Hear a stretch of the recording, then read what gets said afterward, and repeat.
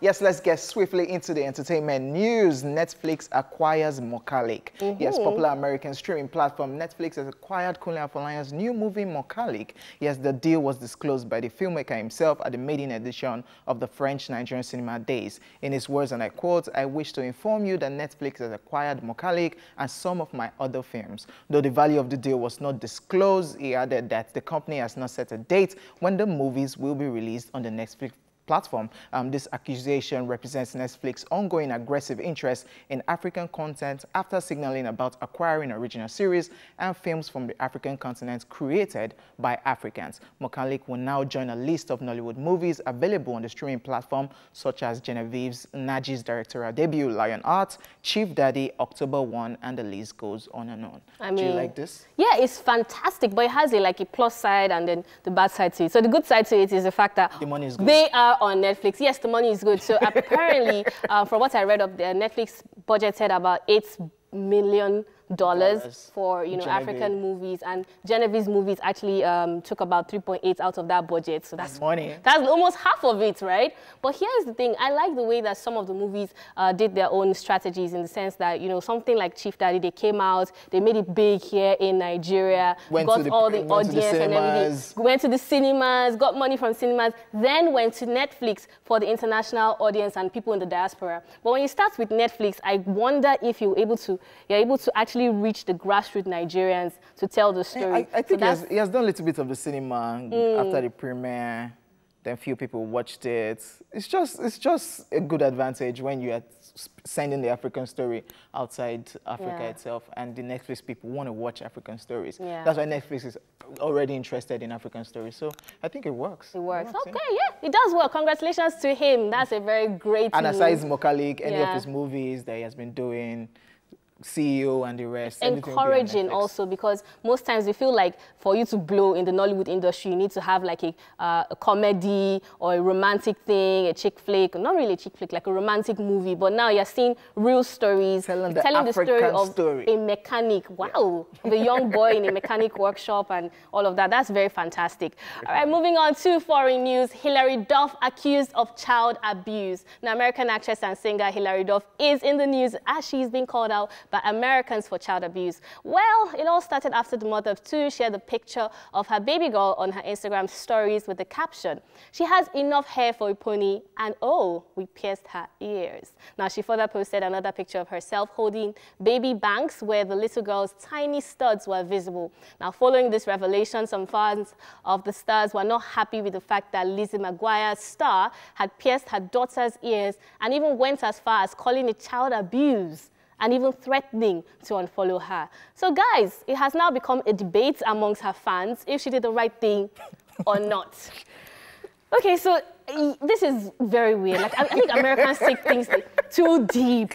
Because I actually saw people going, oh, uh, did she give you consent for you to pierce her ears? Wow. This is physical and emotional abuse. You don't know how it's going to inflict the child in the future honey, it's not. She doesn't, she, it's not even going to feel it. Like, I, I, I saw the story and I remember a friend of mine gave birth and just immediately after just giving birth, she pierced the, yeah, she pierced the baby's just, ear. Just rub it like, like this. Sharp, sharp. They said the, the ear is still soft, the body is still soft. Mm. And I'm seeing this story and they're complaining like, why are you doing this?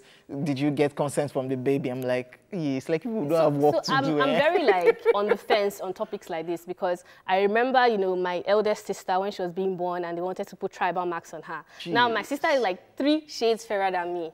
And they uh -huh. wanted to uh-huh. put tribal. I'm like, eh. So of course my parents fought against it. So with stuff like that, it now becomes like it's a cultural thing versus uh, modernization versus what is abuse, what is not. Like, you know what I mean? Tri tribal mark is, ah, tribal mark is cultural.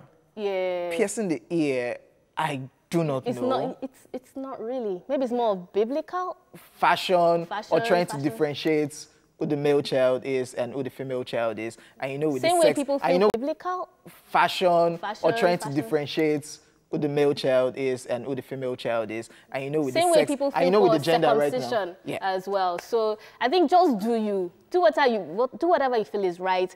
Do what you think is going to make you happy. Because at the end of the day, you're the parental uh, guardian. You can't say that you want to wait till the child is 18 to pierce their ears. That's, so, some that's of some weird. of our Hispanic fans are like, no, all these Americans, what's wrong with you?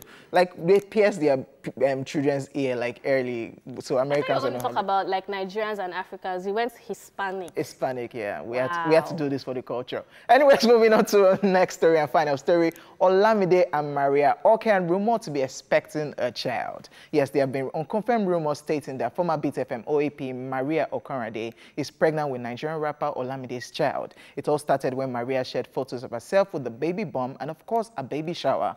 However, on social media, speculation have also been going that Olamide is the one responsible for the pregnancy, stating both of them were in a romantic relationship before Maria got pregnant, left Beat FM and relocated to United Kingdom. Well, what is shocking to fans is that Olamide just welcomed the second child with his fiancée just recently. Nigerian social media has even gone into shock as people cannot comprehend or believe how this can be true. A lot of people have expressed disappointment on the whole incident since Olamide was already engaged to another woman. Neither Olamide or Maria Okan has made any comments as to whether the information is true or false.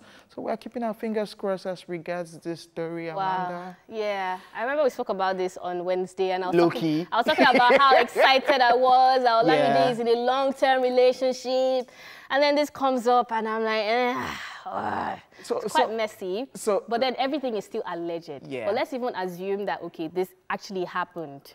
So the way the, the way fans just turn their back on Olamide because after we saw the news of his second um, his baby mama giving yeah. birth to a second child, we were like, can't every Nigerian artist be like Olamide? Look at him, just one woman, two children, doing it. then all of a sudden they heard this Maria story and they're like, ah, we thought we were praising you just yesterday. Mm. Why, why, why Nigerian artists like this? The Maria story and the Maria and Olamide story is getting more complicated because yes. people are saying, you know, coming from the background of Maria where she's Ote, she's the exposed one, and Olamide is more of the um, wow, uh, um, from Bariga, grassroots. From I can connect to my people kind of person. They are wondering how they could connect on that level romantically. It's like, oh, we thought she was too touch for people like this. It's That's love. one it's angle. Then some people are allegedly saying, there are rumors flying up and down saying that she was actually paid 2 million naira to um, remove the baby, to abort the baby, but that she took that 2 million naira, uh, left. Beat FM allegedly, and then traveled and is having a baby. Now,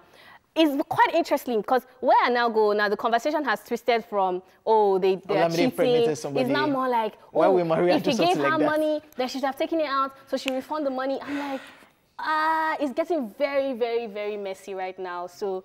Um, apparently, allegedly, Olamide has apologized to his uh, fiance. That's what they said, yeah. That's they what they said. So and she has really forgiven know, him. And she has forgiven him. We're, we're just keeping our fingers crossed to know where we, we tried. We mm. tried we tried talking to teams and, and guys from YBNL, but yeah. nobody actually wants to say Speak anything. about it. Nobody wants to say anything. So we're just keeping our fingers crossed to find yeah. out what truly. And if it is, is true, happening. everybody makes mistakes. People should stop coming for them so badly. It's okay. Like let them be. Let them talk when they want to talk. Yeah. That's what I feel, Sha. Mm. okay, ladies and gentlemen, it's a wrap on the news. All right, this is Tweetville, where we bring you all the fun and savagery from the world of social media in five minutes or less, maybe more, maybe not more. All right, Koji, are you ready? Let's do this. All right, let's do this. So this one is from Siga, and it says, before you finish your money, buy an ironing board and stop ironing on your bed. You are 30 years old. Hmm? Don't scroll past. Then Orisha now tweeted a response and said, ah, thank God I iron on the floor. Are you? oh, because he said on your bed. bed. And he's like, ah, no, no, no, no, I'm past oh, that. Orisha, you are involved too. Like, yours, is, yours is even worse. I don't get it. Why do we love to improvise in this country? Orisha, like, just get an ironing board. It's, it's that simple. Iron on your bed. You know, I, I get very confused when I see people using um, plates to chop onions and to chop pepper. And I see some people in school, people used to use kettle to cook noodles. Like, it's there are the, utensils for stuff. But it's the also, There's an ironing board for ironing. Eh, what if I cannot buy the ironing board? I will use my bed and my floor. Don't be like OJ. All right, moving on to more tweets. okay. So nobody, I mean nobody, and this is me in the middle of the night. That's a picture of SpongeBob, and he's cooking some noodles with egg, vegetables, and some other stuff. Really very serious.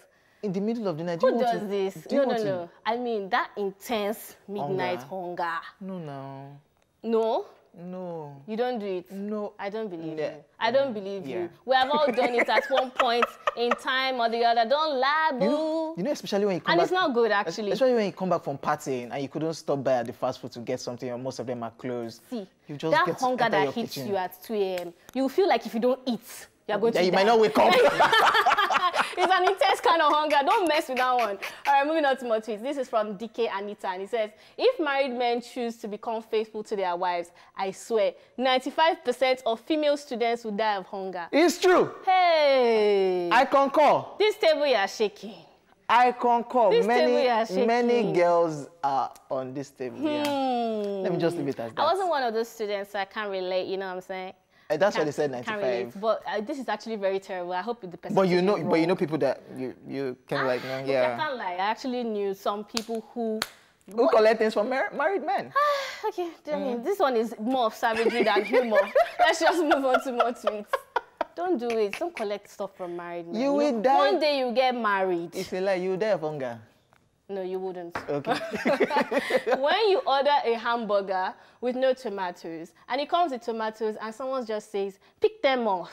And then this little boy is so mad, he's so angry. And he said, it has already been tainted with the juices, Karen. like, what do you mean? there's there's some people like this, especially people that don't like onions in their food, Mm. and they can't see the onions, but at the moment they just see one, They are they'll be like, I can't eat this food because for me, for me to see one Yeah. In this food, that means there are several inside. So problem is instruction. I said I don't want tomatoes. Mm-hmm. Why are you putting it and telling me to pick it off? You're not giving me work on top of what I asked you not it's to mistake, no. do. It's mistake. Karen has messed up. As if it's me, I'll be pissed off too. I don't like tomatoes. I don't like tomatoes. I don't like cucumber. I don't like watermelon. what do you Don't- like? Stuff like nice food, sweet stuff. You know, see this kind of food, tomato, cucumber, uh, watermelon, they're confused. They don't know if they want to be sweet or they want to be salty. Or, you know, they're just, they don't have a taste. Can you tell me the taste of tomato? Tomatoes is juicy. Mm, mm, that's not the taste. Uh, The uh, taste. the taste is salt, salty. no, it's not. You yeah, add it is. salt on top of tomato. Uh, You see okay. I give up. I'm done. That's it from Tweetville, guys.